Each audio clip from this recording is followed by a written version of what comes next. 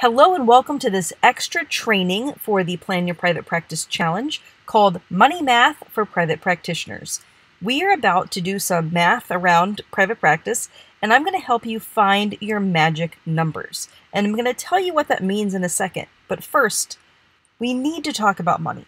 Talking about money can make people uncomfortable, especially helping people people, which is why we need to talk about it. Are you ready to get started?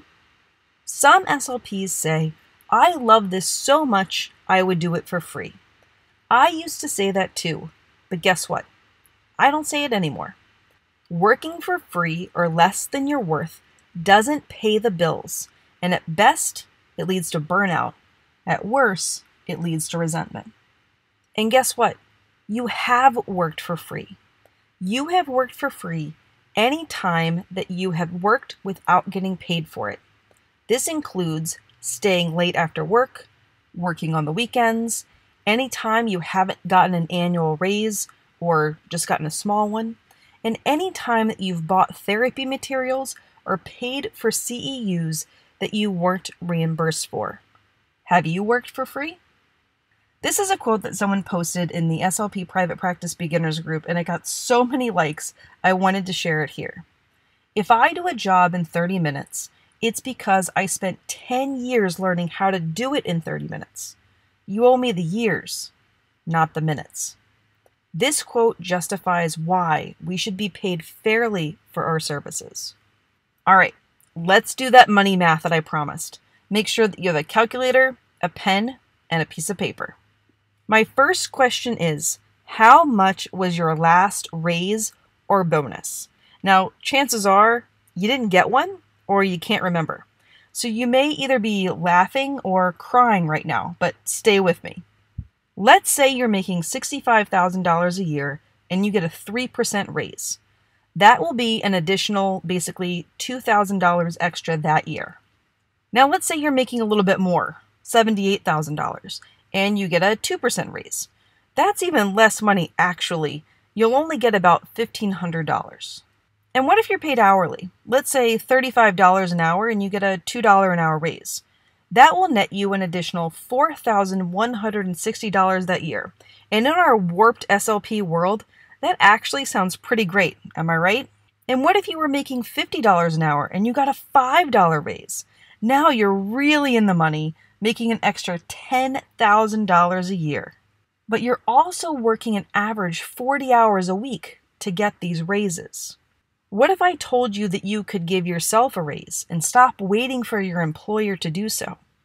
You can in just a few hours a week, and you can get started right now on the side of your regular job. On your piece of paper, write down how much your annual raise or bonus is, and above it, I want you to write first goal. Your very first goal with your private practice is to give yourself that raise, not by waiting for it but by going after it. Got it? What is the maximum salary that you can earn at your current position if you stay there for years, your whole career even? I call this your income ceiling, and it refers to the maximum salary that you can earn at your regular job. If you don't know specifically, take your best guess. I pulled this data from the salary surveys from ASHA in the most recent years, but it does depend on your employer or region and so your figure might be different, but you can use these as a guide if you're not sure. I also want you to consider how long it will take you to get to that max salary. For example, schools with steps, it might take you 11 years to get to that max salary, which is a long time.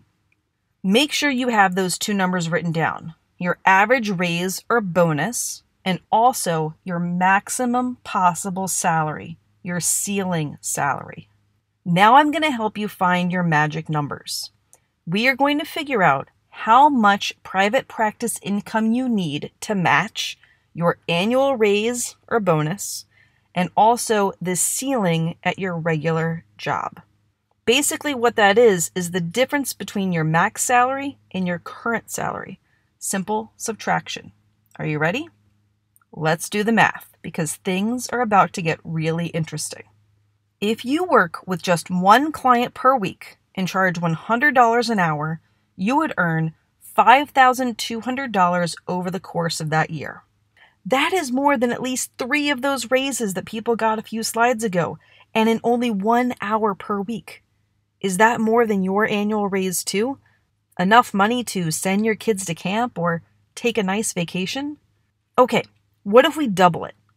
If you see two different clients per week, or the same client twice per week, now you're at $10,400, which is the same amount as that person who got the $5 an hour raise. But instead of working 40 hours per week over the course of a year, you're only working 104 hours total for that. Now, you may be thinking, I can't charge $100 an hour. Well, yes, you can. You have a master's degree and professional expertise, but let's say you live in a more rural area or an area that has more lower SES, and you decide to charge $80 an hour and you do four sessions per week. That will net you $16,640. Or $20,800 if you charge that $100 an hour. You're still doing this very part time. Four hours per week is very doable.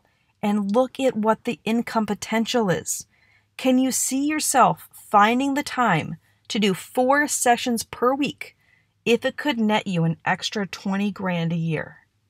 If you can do 10 sessions per week in the afternoons, evenings, weekends, you can net just over $50,000 and you still haven't quit your job.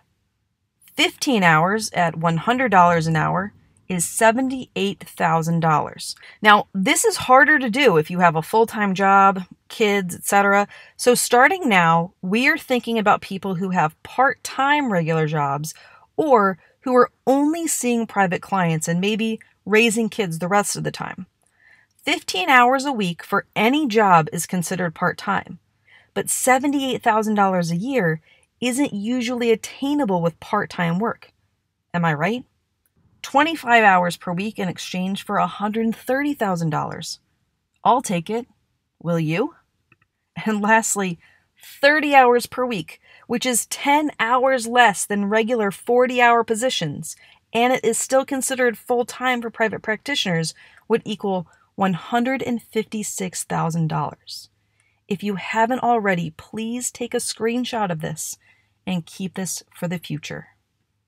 I actually have a calculator that I had created for the students in the Start Your Private Practice system so people can play with the numbers and adjust their hourly rate and number of sessions to figure out how to meet their financial goals. So, what are your magic numbers? This is going to become your goal for the first year of your private practice to generate this amount of revenue through seeing private clients.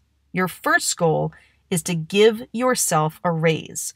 Your second goal is to max out that income ceiling in your first year of private practice. Stop waiting for raises. Stop waiting for years. It becomes a question of how many months it will take you to get there versus how many years. If you follow the steps that I outline in the Start Your Private Practice system, you can reach your numbers and well above it in one year. Now, you have to put in the work, you have to do the number of sessions, and yes, you have to pay taxes, but you can hit that number. Setting a goal doesn't mean poof, it's just going to happen. I can't guarantee that you'll hit that number, but I can guarantee that if you don't try, you won't. Don't wait for someone else to give you a raise. Give yourself a raise. Is this making sense? Can you see the power in this? Your expertise has monetary value.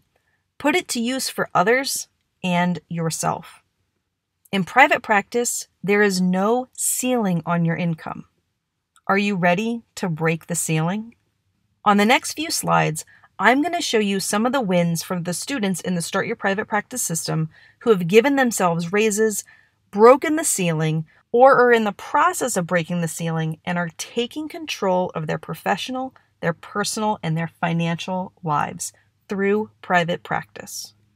START students are joining the program and quickly getting their first clients. START students are joining the program and quickly getting their first clients.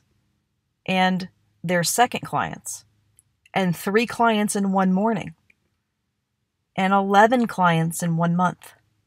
They are getting paid via private pay and insurance, Medicare, and Medicaid, and quitting their jobs, and seeing clients in rented clinic spaces or out of their cars. And most importantly, getting the support that they need to do this. Click the button below to get access to the exact same blueprint and program that will show you how to give yourself a raise, max out your salary in less than a year, get your first private client, your next private clients, and start your private practice with support from me, a team of paid mentors, and the students in the program, just like the ones you saw on these slides who are only a few steps ahead of you and are already getting results. Come join us. I can't wait to help you start your private practice.